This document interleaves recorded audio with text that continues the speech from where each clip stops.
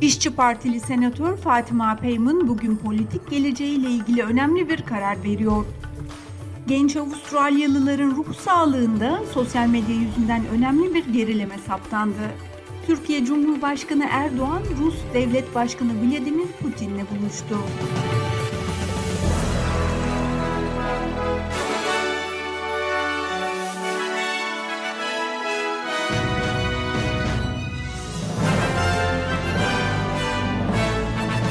İşçi Partisi'nden uzaklaştırılan Senatör Fatima Peyman'ın bugün önemli bir açıklama yapması bekleniyor.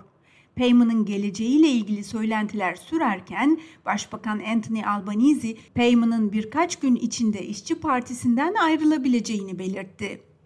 Batı Avustralyalı senatör kendi partisinin hayır oyu vermesine rağmen Yeşillerin Filistin devletine ilişkin önergesini desteklemiş ve bunun üzerine parti grubundan uzaklaştırılmıştı. Fatima Payman benzer bir oylama bugün olsa gene yapardım diye konuşmuştu.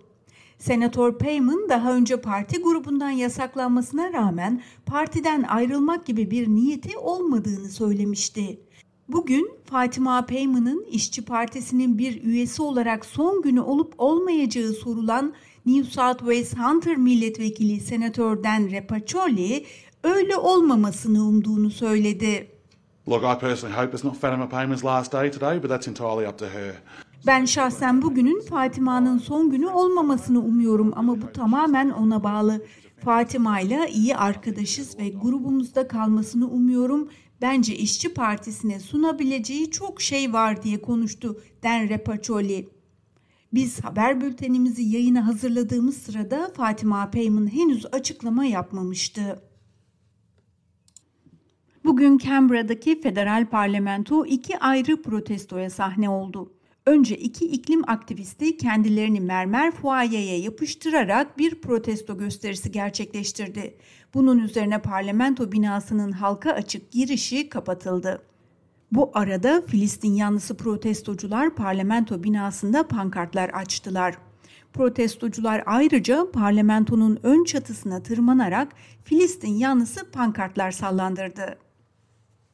Yeni bir araştırma küresel sosyal medya platformlarının yükselişiyle aynı döneme denk gelen 2012'den sonra genç Avustralyalıların ruhsal sağlıklarında önemli bir düşüş olduğunu gösteriyor. 2011 ve 2022 yılları arasında 15 ila 24 yaş arası genç kadınların ruh sağlığı puanları %73'ten %62'ye, genç erkeklerinki ise %74,5'dan %67,5'a geriledi. Bu yeni bulgu E61 Enstitüsü'nün yılda 17 binden fazla Avustralyalı'nın hayatını takip eden Avustralya'da hane halkı gelir iş gücü dinamikleri anketine dayanarak yaptığı araştırmada ortaya kondu. E61'ın bu analizi gençlerin kendi bildirdikleri ruh sağlığı düzeylerinin yaklaşık 10 yıl öncesine kadar istikrarlıyken bu tarihten sonra keskin bir düşüşe geçtiğini ortaya koyuyor. Çalıntı olduğundan şüphelenilen bir araçla başka bir araca çarparak sürücünün ölümüne yol açan 17 yaşındaki bir çocuk tehlikeli araç kullanmakla suçlanıyor. Melbourne Burwood'da gerçekleşen kazada olay yerinde yakalanan 15 yaşındaki iki kız çocuğu da araç hırsızlığıyla suçlanıyor. Dün gerçekleşen kazanın ardından araçta bulunan gençler yaya olarak olay yerinden kaçtı. Yeni bir araştırma çoğu büyük şehirde kiraların ya düştüğünü ya durduğunu ya da artış hızının yavaşladığını ortaya koydu. Emlak platformu Domain, boş ev bulmanın zorlaşması nedeniyle kiraların birkaç ay boyunca yükseldiğini ancak kiracılar için koşulların iyileştiğini öne sürüyor. Konut kiraları Haziran çeyreğinde Hobart'ta %1,8 düşerken Sydney ve Perth'te sabit kaldı. Birleşmiş Milletler İsrail'in Filistinlilere Gazze şeridindeki Han Yunus'u terk etmelerini emretmesinin ardından binlerce kişinin yerinden edilebileceği uyarısında bulundu. İsrail ordusu bu hafta başında Han Yunus'un büyük bir bölümünden Filistinlilerin toplu olarak tahliye edilmesini emretti ve askerlerin Gazze şeridinin ikinci büyük şehrine yeni bir kara saldırısı başlatabileceğini açıkladı. İsrail bunun Hamas militanlarıyla mücadele çabası olduğunu öne sürüyor. Birleşmiş Milletler görevlisi Andrea de Domenico, Han Yunus'un büyük bir bölümünün bu yılın başlarında yok edildiğini ancak çok sayıda Filistinlinin Refah'taki başka bir İsrail saldırısından kaçmak için geri döndüğünü söylüyor. Since uh, Monday afternoon when the evacuation order was issued, uh, Tahliye emrinin verildiği pazartesi öğleden sonrasından bu yana sürekli bir insan akını olduğunu gördüklerini söyleyen Domenico, tahliye emrinden 250 bin kadar Filistinlinin etkileneceğini ekledi.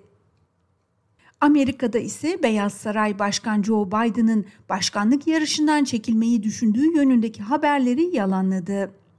Başkan Biden'ın Donald Trump'la yaptığı münazaradaki performansına yönelik eleştirilerin ardından Beyaz Saray Basın Sekreteri Karine Jean-Pierre, Biden'ın performansının solunum yolu enfeksiyonundan etkilendiğini söyledi. It was not his best night.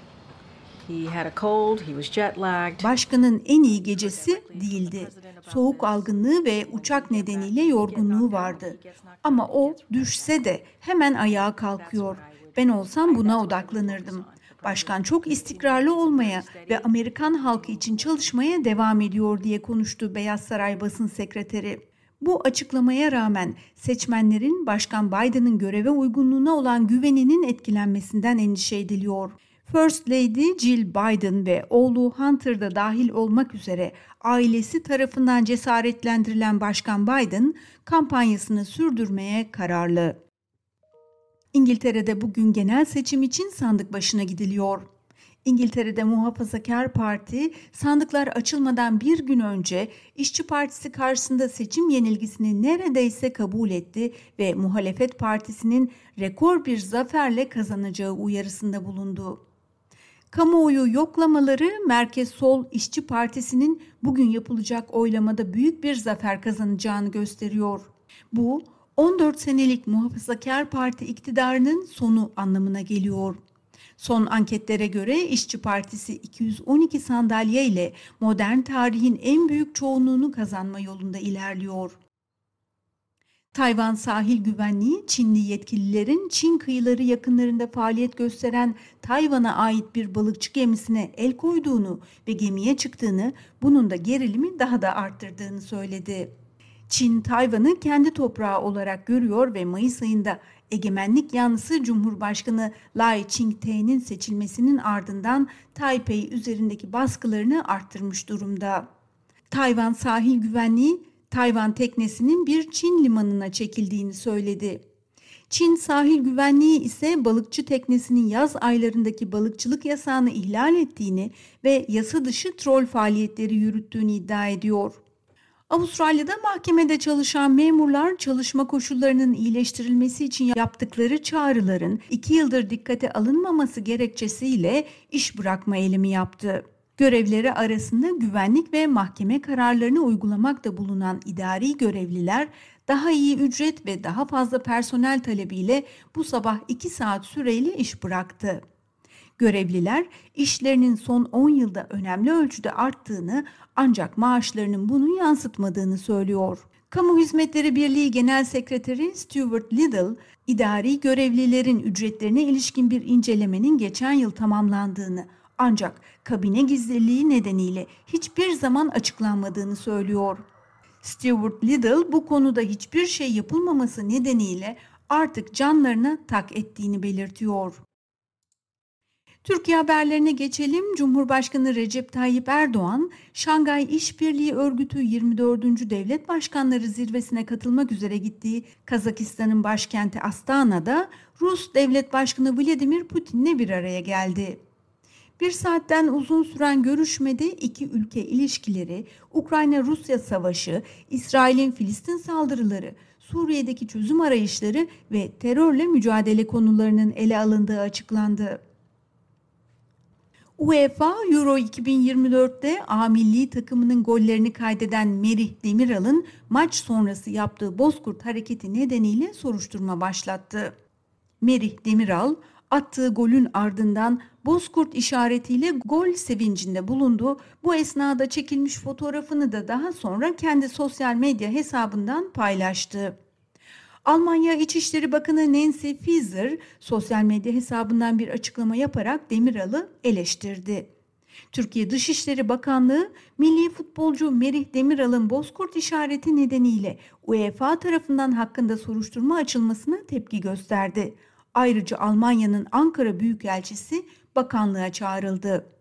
Adalet ve Kalkınma Partisi sözcüsü Ömer Çelik, Alman bakanını eleştirdi ve ırkçılık ve faşizm arayanların Avrupa'da son zamanlarda farklı ülkelerdeki seçim sonuçlarına odaklanmaları yerinde olacaktır ifadelerini kullandı.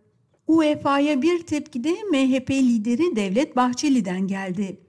Bahçeli sosyal medya hesabından yaptığı açıklamada Merih evladımızın fileleri havalandırmasını müteakiben yaptığı bozkurt işareti Türk milletinin dünyaya mesajı olup UEFA'nın bu kapsamda soruşturma başlatması hem maksatlı hem de son günlerde tehlikeli bir şekilde mesafe alan zincirleme provokasyonların bir ara istasyonudur ifadesini kullandı. Yeniden Çevre Şehircilik ve İklim Değişikliği Bakanlığı'na atanan Murat Kurum ilk açıklamasında yaralar tümüyle sarılana kadar deprem bölgesinden ayrılmayacaklarını ve hiçbir vatandaşın mağdur edilmeyeceğini söyledi. Bu arada İstanbul Büyükşehir Belediye Başkanı Ekrem İmamoğlu 31 Mart'ta yapılan yerel seçimlerde rakibi olarak karşısına çıkan kurumun yeniden eski bakanlık görevine getirilmesi üzerine Murat Kurum'u tebrik ettiğini söyledi. Radyo ve Televizyon Üst Kurulu RÜTÜK daha önce 5 gün idari para cezası ve yayın durdurma kararı verdiği Açık Radyo'nun yayın lisansını iptal etti. Açık Radyo ise bir açıklama yaptı ve 30 yıldan beri yayın hayatına devam eden Açık Radyo bundan sonra da aynı evrensel gazetecilik ilkeleri doğrultusunda aynı sorumlulukla yayın hayatına devam edecek ifadeleri kullanıldı. Ve son olarak Milli Savunma Bakanlığı Türkiye'nin Irak'ın kuzeyine bir hava harekatı düzenlediğini duyurdu.